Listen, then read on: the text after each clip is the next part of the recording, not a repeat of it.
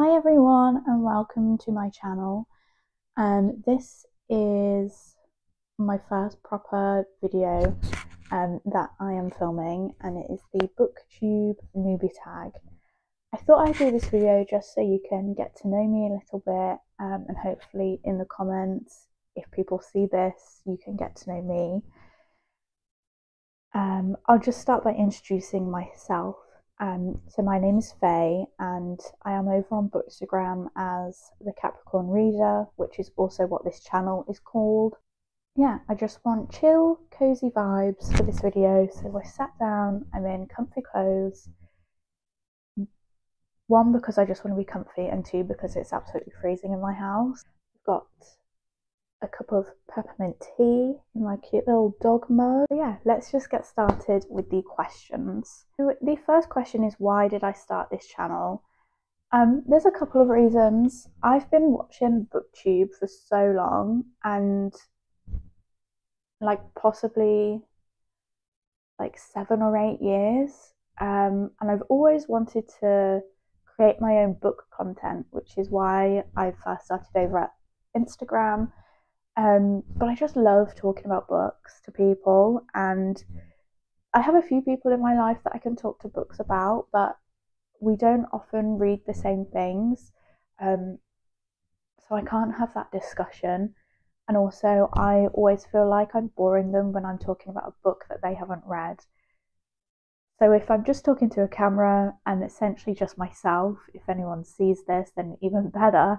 Um, but if not, I'm just talking about the books that I'm loving or not loving. Um, so I've got hair on my face, which is really annoying me. So if I keep itching my face, apologies.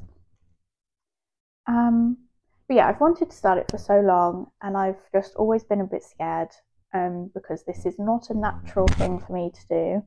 My sister is, she has a YouTube channel, she doesn't post on there anymore um, but she was very much the outgoing camera person, if that makes sense, and I'm just in the back. But yeah, I'm a bit scared, but I've wanted to do it for so long, and I'm currently unemployed, and my days are getting so boring um, just being by myself. So I thought now is the perfect time to just bite the bullet, start my booktube, and just gives me something to do and structure my days around. Um, I'm hoping I can do it as like a do this video this day, or if it's a bit of a longer video project, do little bits each day just to bring some structure back into my day because that is very much lost.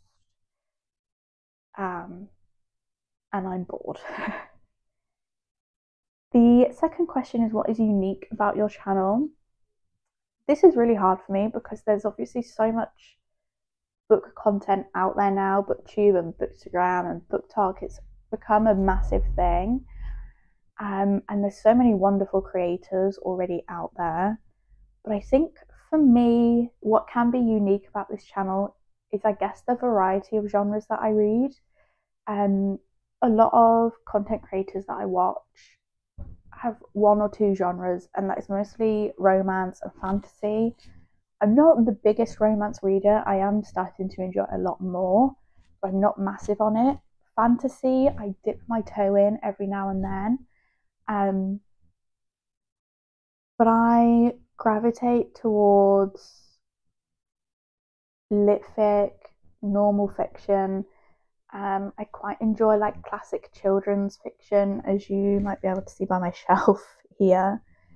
Um, yeah, I just think something unique is that there will be a variety of genres spoken about. It won't just be one or two. And as a massive mood reader, I never know what I'm going to be in the mood for. Um, so I guess you can just come along on that journey with me, and hopefully you can find some new books. I can find some new books that we all love. The next question is why do I love reading? Um, I personally just love being transported and immersed into different worlds, um, which is actually quite strange considering I do love a fiction that is just a quiet fiction that's a slice of life novel, just watching people. Hello, do you want to say hello? This is where my cat James um, makes his debut. Um, as you can see, doesn't look impressed and he just stares at himself in the camera. Um, I'm doing a voiceover for this bit because the audio messed up because he was right on my mic. Um, but yeah, that's James. Uh, what was I saying? Got distracted by the cat as always. Yeah, I just love being transported into a different world, and especially when it really hooks you and you don't want to come out of it and back into reality. Um, I think that's something that I really love. Um, and I also used to study English literature through GCSE and A level. Um, and I love picking apart novels and authors' works to find out why they've chosen certain characterizations or settings or plot lines into their story to find out the why and how it affects it. Um, I don't do that that often anymore just because I read for escapism and I don't always want to be there with pens and highlighters and with my analysis brain on. But it is something that I would really like to get back into this year. Um, just because I do love it and I love the look of an annotated book. So now on to the question of what are some of my favourite books. Um, I've chosen a few that are varied in genre, and I think this just shows you like the range of genres that I read from, and that I don't fit into just one as a favourite. Um, so, for example, favourite books Jane Eyre by Charlotte Bronte, my all time favourite book ever. Little Women by Louisa May Alcott, also a favourite ever. Northern Lights by Philip Pullman. Um, I read this, I think, three years ago. Absolutely fell in love with that book. Um, a Court of Mist and Fury. This was one of the books that really gripped my heart with the characters, and it holds a very special place in my heart. Um, also, Regeneration by Pat Barker. I think, especially on BookTube and Bookstagram, this is a very understated understated, underrated, not talked about enough book. Um, it is one of my absolute favourites. Again, one I studied for English Lit, fell in love, and also aced my exam on that book. Um, Caraval by Stephanie Garber, again, another one that I just got completely immersed in and loved. And I love her world building and her writing. Um, and then also Ninth House and Hellbent by Leigh Bardugo. Those books are the love of my life, pretty much. What booktube challenge is my favourite and which will be the hardest to overcome? Um, I think the challenge I'm looking forward to is being a part of and building my own little community for books. Um, I love reading I love buying books, I love discussing books, and I can't wait to find other like minded people um, to do this with and to just build that sense of community with people who are on the same wavelength as me. Um, and I think the challenge that's going to be the hardest to overcome is talking to the camera.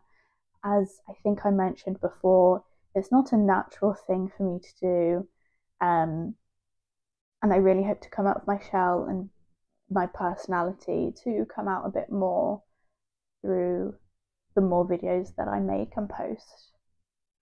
Also, the editing, I don't think I'm going to be very good at that, but we'll try my best.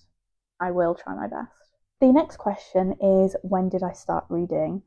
Um, I think properly reading, I was about 14. Um, because again, looping back to Jane Eyre, when I was studying that book and fell in love with it, that's when I started to get back into reading. And actually, City of Bones was one of the first book series that I bought and just read through like do do do do do.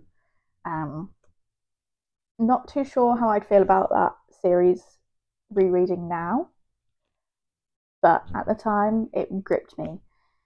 Um, yeah, so I think 14, I know I always used to love books and try to read, but my mum always said I was never sat still long enough um, for me to read a book or part of a book or even to be read to.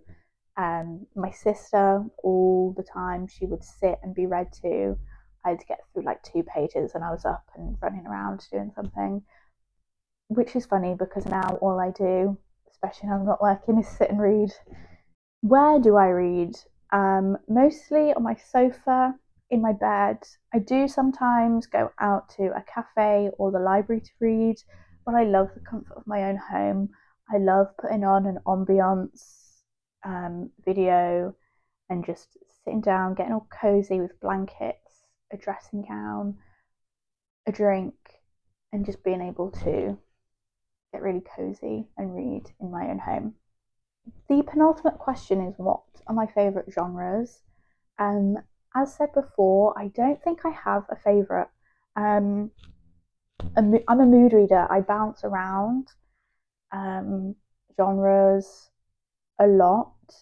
Currently, I'm gravitating towards fantasy and romance just because they're quick to read and a good filler in between fantasy books. Um, but yeah, I I read from a lot of genres fantasy, romance, sci-fi. I'm getting into um, fiction slash literary fiction, classics, um, graphic novels, manga. I have a few on my shelf, although I don't actually reach for those that often. Um, yeah, I don't have a favourite. It just depends on my mood a lot. and the last question is what does my book collection look like?